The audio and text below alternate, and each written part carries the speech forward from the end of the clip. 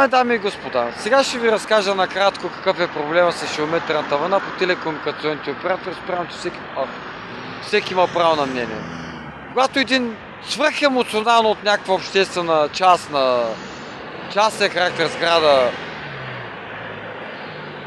то то примерно аз ма нацели, като се изрите всички срещу моята компания с продължението, и аз като мина покрай държавните институции, като ме нацелят, защото съм станал свидетел, било неудобно, че еми, аз съм един, какво да кажем. Обаче нищо не мога да направим.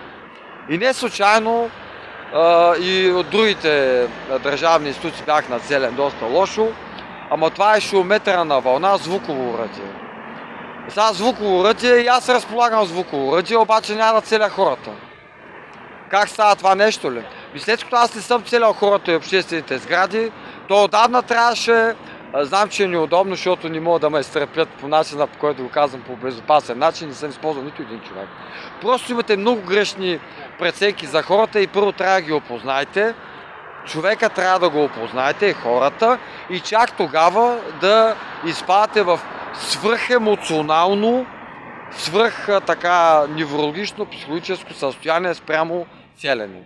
Е, това, което мога да кажа. Благодаря за вниманието. Но то нормално е, като стана свидетел на това нещо, след качество да се изплаша и да го изкоментирам това нещо, му го казах по пълно така балансиран начин.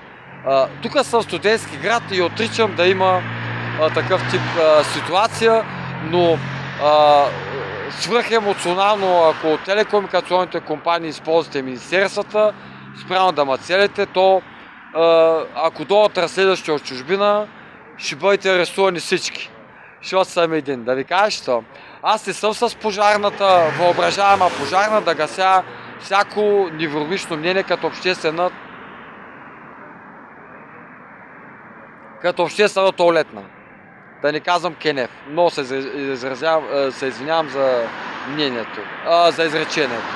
Всичко добро. Иначе всичко е нормално по пътя безопасност, така като гледам по университети, с продължението в студентски град. Това, което мога да ви кажа и ви пожелавам по всякакъв начин да се учите уроците, защото аз съм малко по-голям. Допълнително мога да видите в в канала, естествено. Каква е причината съм студентски град ли? Обърках автобуса и квартала, но това се случва при мене по всякакъв начин. Всичко добро!